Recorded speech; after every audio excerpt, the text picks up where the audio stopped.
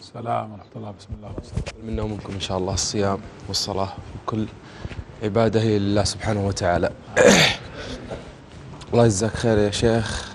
أنت وزوجاتك على الفطور اللي جبتوه من زمان عن طبخ البيت. الله يثيبكم الله لا يحرمكم الأجر إن شاء الله. العافية إن شاء الله. استكمالا لسلسلة آه، إضاءات اللي بدأتها. الإضاءة اللي معنا اليوم كن سعيدا فيما تملك أثناء سعيك لتحصيل ما تريد. أغلبنا يبدأ خطوات جديدة في حياته. عشان يوصل لإنجاز معين أو طموح أو حلم معين. كن سعيد بداخلك في اللي تملكه. بديت مشروع صغير ومعك مادة صغيرة. ثق في الله سبحانه وتعالى. كل الثقة أنك راح توصل لنهاية المشروع. كل إنجاز كبير يبدأ بخطوة صغيرة. إذا كن سعيدا فيما تملك. أثناء سعيك لتحصيل ما تريد.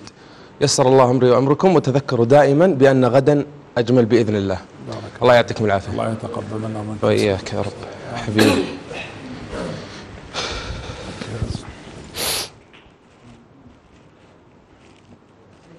الله أكبر اللهم باعد بيني